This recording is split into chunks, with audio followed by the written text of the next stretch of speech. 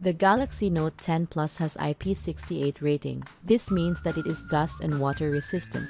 Your device is protected from occasional splashes but the charging port may retain water or moisture from time to time. If this occurs, the Galaxy Note 10 Plus may show moisture detected error. This does not necessarily mean that your phone has become defective. If you're wondering how to fix it, then this video is for you. How to fix Galaxy Note 10 Plus moisture detected error. First, check the port. Moisture detected error usually pops up if the charging port is wet or has traces of liquid in it. This can happen after exposing the device to water or liquid or when using it in humid environments. This error is a reminder for the user not to charge the phone unless the port is dry. If your Galaxy Note 10 Plus shows moisture detected error, you also won't be able to charge it because cable charging will not be permitted by the system. This is to prevent shorting the device. The error does not mean that your phone is defective. All you have to do is to check the port, wipe the device clean, and let it air dry for a few hours.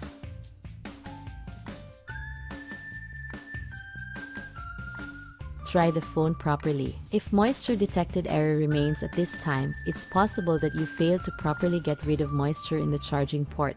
The natural process of evaporation may not be enough to clear the remaining moisture so you'll need to further dry the phone. A common way to dry wet electronics is by using uncooked rice. After wiping the device dry, put it inside a container and cover it with rice. Alternatively, you can use several packs of silica gel instead of rice. You can get silica gel from your local craft store confirm charging accessories are working. If your Galaxy Note 10 Plus moisture detected error remains even after you've thoroughly tried the phone already, there may be other factors behind the trouble. In our experience with a number of Samsung Galaxy S and Note devices, moisture detected error may show up even when the phone is dry if a charging accessory or port is damaged. To see if the issue is caused by a charging cable or adapter, try to charge the device using another known working cable or adapter. If you can borrow another set, that should be good. Next, charge your phone while it's off. If you think that your phone is running out of power soon and you badly need it, try to charge it while it's off. Again, you want to make sure that your phone's charging port is dry to avoid damaging the system. Should the error remain, proceed to the next steps to fix possible app or software problems. Next, restart to safe mode. In some rare cases, moisture detected error may pop up due to a bad third-party app. To see if you've installed a malware or poorly coded app, restart the phone to safe mode. In this mode, all third-party apps are blocked and only pre-installed ones will be allowed to run. If your Note 10 Plus charges on safe mode and no error shows, you can bet there's a bad app to blame. It may be poor app coding or it's a malware. Refer to the article link found at the description box of this video for the steps on how to restart to safe mode.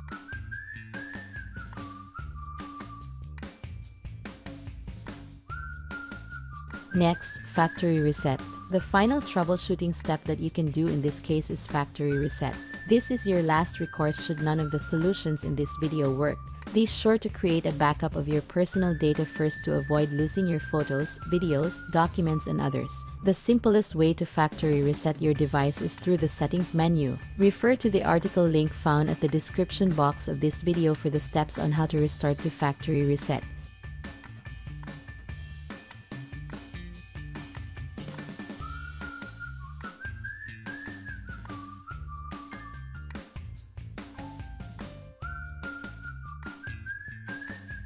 Lastly, repair. In some cases, moisture detected error can be a sign of bad hardware. If factory reset failed to make a difference, contact your local Samsung store or service center.